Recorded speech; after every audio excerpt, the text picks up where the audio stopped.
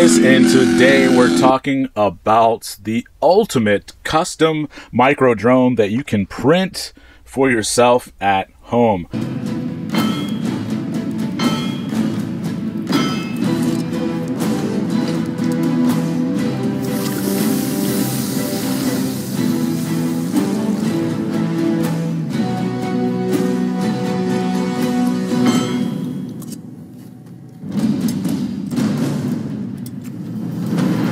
That's right. So many of us that are in the micro brushless craze that is sweeping the community right now, um, especially those of us that have long been in the micro space prior to this explosion in popularity, um, know that the hottest thing is these King Kong 65 millimeter props being pioneered um, and resurrected by Kebab. Um, FPV. So if you haven't watched his channels on the development that's going on for his custom toothpick frame, go check those out right now.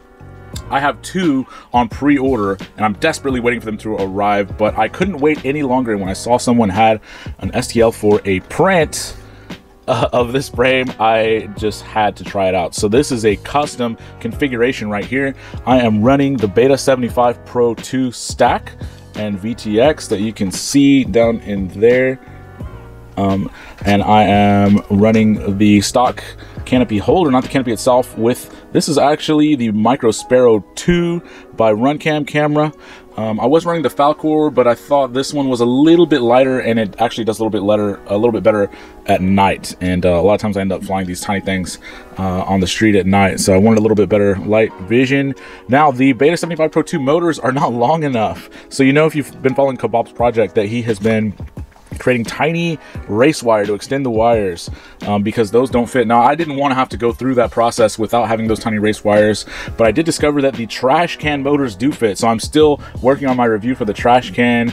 Um, I pre-ordered it from Bangers way, way back when, and then everybody got theirs before I did. So I don't recommend that you pre-order anything from them, guys. Pre-ordering just really means that you're putting yourself last in line to ever get one. People that seem to order after they come in stock get them first, uh, which is a sad thing, but this thing flies amazing. Now, um, you might expect uh, different levels of performance from a 3D printed thing like this. I actually 3D printed a Floss 3 um, fin that can go mounted on there out of PLA.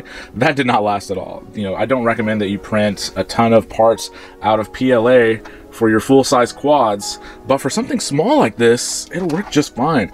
I did crack one of these and the way I cracked it was I was actually trying to adjust a prop on here and I torqued the arm a little bit too hard and cracked it right there. But I put this through about 10 crashes, um, even one that fell from about 15 feet and nothing broke. So really you're just gonna break it in your hands if you do break it. Here's what one looks like coming straight off the printer. I have a Creality uh, CR10. You can find this on Thingiverse. I did have a guy that modified this slightly for the Beta 75 Pro 2. He sent me the file. I'm going to ask him if he wants to upload his version. I believe the one that's on there is just for generic models. So depending on what setup you have, as Bob Rodriguez mentioned in his videos, um, there's a lot of variance between the motor sizes, the stack sizes, so it's tough to get it right depending on what setup you're going to try to go with. Um, this print's very quick in about an hour and a half, so you can have multiple spares. I don't think I'm going to be breaking too many of these. Again, this is just really to tide me over till I get those toothpicks. I'm going to be switching to that carbon fiber custom frame when it comes, but I wanted to get in the air. Another thing I suggest you print is little tool holders like this. I printed this thing, and also as these are the ones that Bob Roogi suggested you get. Go get this set of tiny screw hardware. You're gonna want screws in this size. This is a glasses kit. I'll uh, put the link to this in the description below. You're gonna want this to work on this thing. You're gonna want extra hardware. You're gonna wanna save your stock hardware for this. Get longer screws so it can go down.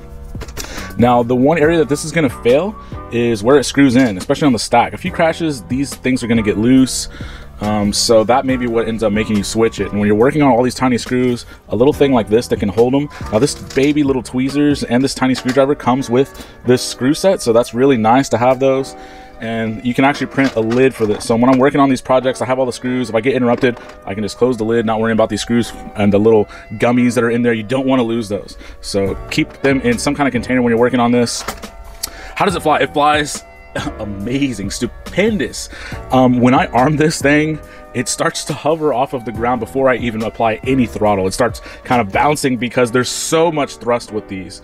Uh, if you're on 2S, you can fly this very comfortable um, on 1S, but I have enjoyed putting the 300 milliamp in 2S on there. I'm still using the stock um, battery connector that gives you the option to run 1S or 2S. Um, as you can see, it's very tight tolerances with the prop clearance right there, but it does fit just fine. What I've been using to, and I'm going to probably get some rubber bands or something, but I didn't have any of the right size. I just used a very small size zip tie. Um, looped it through there right there. I left a little bit on the end, so I'm gonna size it to the size of two little batteries in here. Tighten it so that it sits, stays in there just fine, and that will also give you about the same. Two 300s will allow you to also fit a one 450 in there if you want to run one S uh, without too much. There's also a little foam that these comes with, so you can kind of apply that in there if you want to get a little snug fit. They're not gonna fly off too much, but um, yeah, this is really fun. Like I said, prints out in like an hour and a half. If you have access to a printer, you can definitely try this. Um, not all of the motors are going to be long enough to, to have wires long enough to fit this, but the trash can ones do. I'm not sure if the Beta 75X 1103s do. I don't think I'm going to try those on this. I'm going to wait for the carbon frame, although I do have some. I think this is the max weight that you really want to load this up for. The nice thing though is you can have plenty of spares on hand if you need, although uh, barring a giant like 50 foot fall, I don't think this is going to crack. And if you fell from that height, you're probably going to end up messing up something else in this mix anyway. So onto the flight footage, check out how this thing performs. This is very, very fun. Another thing I do suggest is because these are press fit and they have so much power, just make sure and push them back in after every flight or so. I did have an instance where one got a little bit loose and it shot off during flight when I was doing a, a power move. That's where I fell. It wasn't because I just, you know, crashed out of the air. I lost the prop. Um, so double check those, and I'll leave the STL down in the in the in the bottom if anybody is also like me, impatiently waiting the arrival of their toothpick and just wants to try 65 millimeter on these modern day setups. Definitely recommend this board. Although the Crazy Bee I understand is better, so if you have access to the Crazy Bee, I'm not sure if the dimensions are the same. If you may have to modify it to get it to fit on here, but here we go. Thanks, guys. Look, up in the sky, it's a bird. It's a plane. It's super.